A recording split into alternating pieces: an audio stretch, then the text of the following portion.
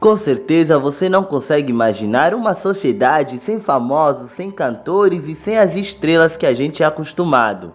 Mas você já pensou viver em um país onde tudo isso não existe? Esse país existe e é a Coreia do Norte. Antes eu peço a você que deixe o seu like nesse vídeo, se inscreva no nosso canal e claro, compartilhe o link da notícia para mais pessoas ficarem ligadas nas novidades e muito mais de curiosidades. Agora, a The Moran Big Bang é uma banda conhecida como Moran High Orquestra. É um grupo musical feminino da Coreia do Norte, cujos membros originais foram selecionados pelo líder supremo do país, Kim Jong-un, tocando estilos interpretativos de pop, rock e fusion.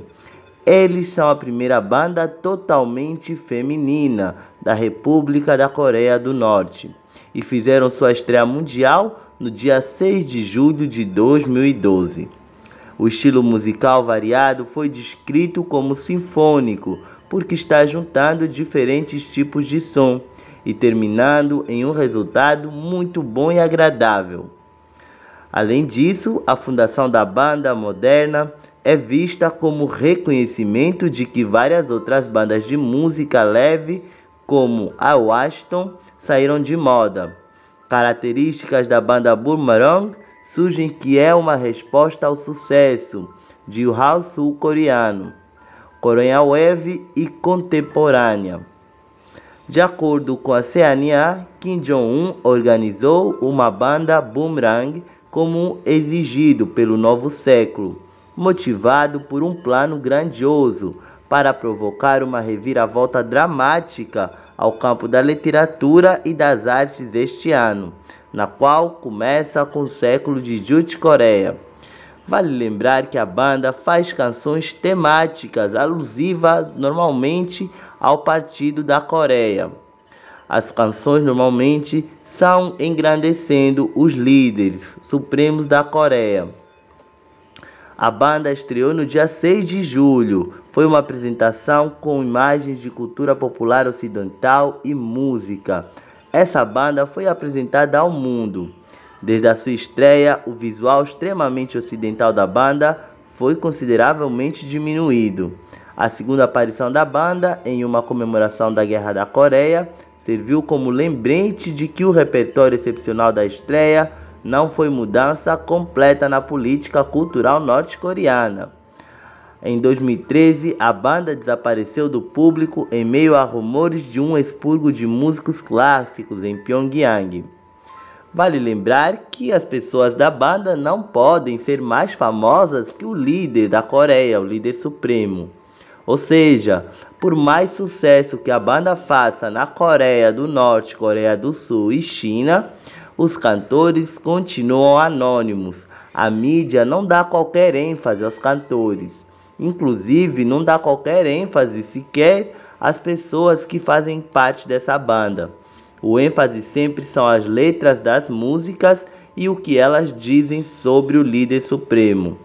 A, a banda se apresentou em um show em Pyongyang, celebrando o início de 2019, sem o líder anterior da banda, Yong Song-ho. Vale lembrar que essa banda é formada por mulheres. Ao contrário de qualquer outra orquestra coreana, a banda Barão consiste apenas de mulheres contraste com as bandas femininas sul-coreanas. Os membros da banda tocam seus próprios instrumentos, devido à educação musical norte-coreana que aspira à precisão e precisão. Suas habilidades de jogo são descritas como muito realizadas e apertadas. O grande número de membros permitiu-lhes tocar uma variedade de diferentes estilos de música, bem como alguns arranjos tecnicamente desafiadores.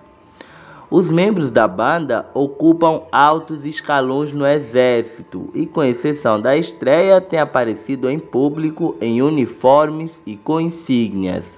Assim, a banda é fato uma orquestra militar, em uma vez que a banda pop, após a estreia, a extravagância das roupas e joias foi atolada. Os penteados encurtados e os membros da banda supostamente foram colocados em uma dieta para, para fazê-los aparecer uniformes em tamanho. As pessoas da banda a gente tem Song Yun Hang, Han Sung Kong, Shan Yang Min, Yu Han Yong, Ri Yong Hong, Kim Yong Min, Choi Yong Yin, Han San Sheng, Kang Shan San e Han San Shen. Os cantores da banda, no caso as cantoras, é Kim Yong Chong, Kim So Min, Ryu Shin Ha, Park Mi Yong, Min, Ri Su Yong e Ri Chong Han. Em 2017, Hyun Seon Hwan, a líder da banda, foi nomeada para o Comitê Central dos Partidos dos Trabalhadores. Ela liderou uma equipe de quatro pessoas que visitou a Coreia do Sul para discutir os preparativos para os Jogos Olímpicos de Inverno.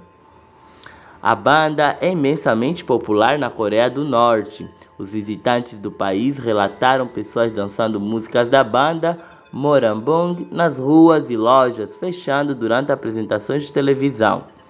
Um crítico disse que as meninas Morambong não são o que você espera de um regime totalitário, fora de moda. O cinza é o novo cinza, suas saias são curtas, o cabelo está de moda e a música dançante. Poderia apenas passar como uma entrada na Eurovision do Azerbaijão. Outro revisor disse: devemos ter cuidado, no entanto, para não ver esses artistas talentosos vestidos com trajes chamativos como novos arquetipos para a nova mulher moderna na República Popular da Coreia do Norte. De acordo com a teorização de Nicola Dimen da representação feminista na música popular, seria irremediavelmente ingênuo declarar que tais táticas são exclusivamente empoderadoras em sua influência. Agora, outro comentarista disse: se existe um candidato que pode representar a borda de uma possível invasão do K-pop, certamente a banda Murambong, que estreou em um concerto para Kim Jong-un em 2012. Enfim, vale lembrar ainda que ambas pessoas dessa banda são do alto escalão da Coreia do Norte.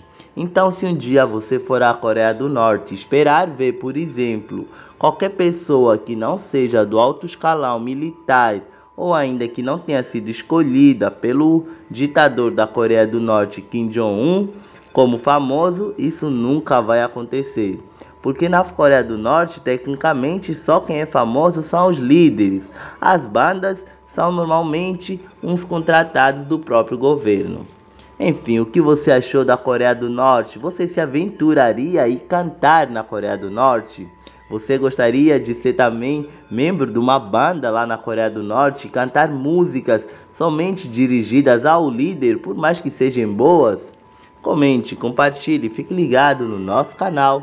Eu vou ficando por aqui. Fui, galera!